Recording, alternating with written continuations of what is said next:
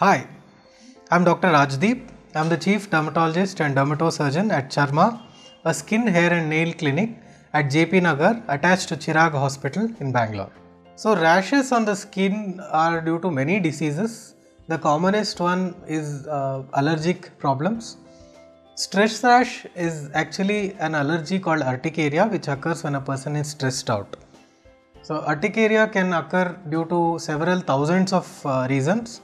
It some people can get it because of uh, sunlight, some people can get it because of dust, some people due to medicines, some people due to internal infections, some people due to food allergy. The list is endless. Anything around you can cause urticaria. So, stress rashes or stress induced urticaria is caused when person is having anxiety or panic or uh, uh, when they have episode of depression. So, this is a temporary rash. It lasts for few hours.